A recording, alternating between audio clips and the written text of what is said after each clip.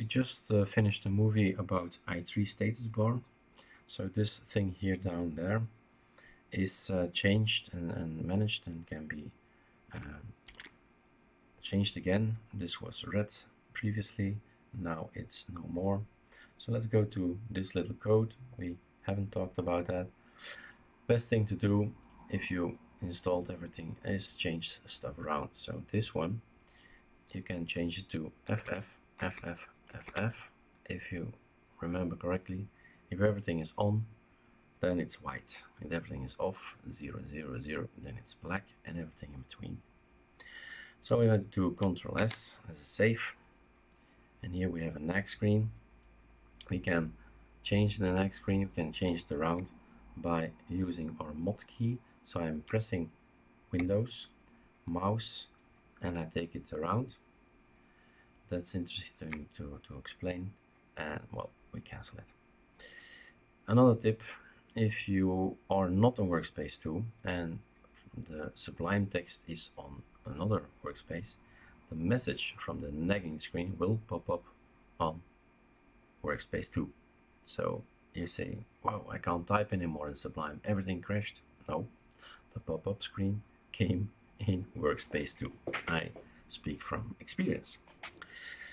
So we have this here. We want to talk about this. We in another movie we explained about all of this, and uh, we show you also the normal kind of look because this is my personal preferences, and um, we're gonna see what this is.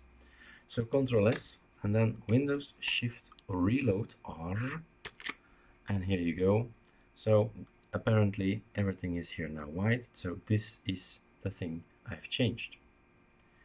You see? It could be nice if only I could make also these letters here uh, black again then it would be great.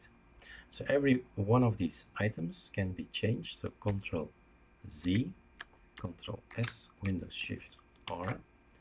Everything is back normal. And the thing you do I suggest you do is change colors and make them apparent like for instance FF 0000 meaning red green blue. All red. Save Windows Shift R. And then you see ah it's those little elements here that I change. Only the lines. That's all it is. And that's what they call a separator mm -hmm. fine. Control Z, Control S, Windows Shift R. Back to the normal thing, and you can go on like this. So the elements are here border, background. Let's change the background again. FF, FF, FF. It's going to be white. So this element, you don't need to learn it by heart. So anything that is focused is going to be white actually not bad I might keep it so maybe a bit too white that's that's the preference you know and the text color if you don't like the text color you want to have it red fine no problem just do it reload but make sure that it's beautiful as you can see it's not that difficult it's straightforward. The only thing you should know is some hexadecimal color codes. This is the border. Haven't changed that yet. And then the background, the text. So let's change the border too, so we can wrap up this movie. Control S, Windows Shift R. And there you go. Now we have this kind of look.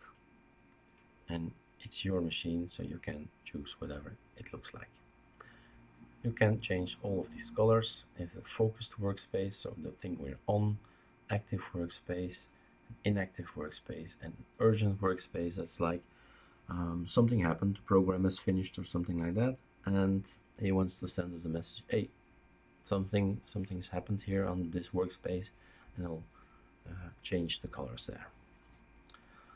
Okay so have fun changing your colors and making it your own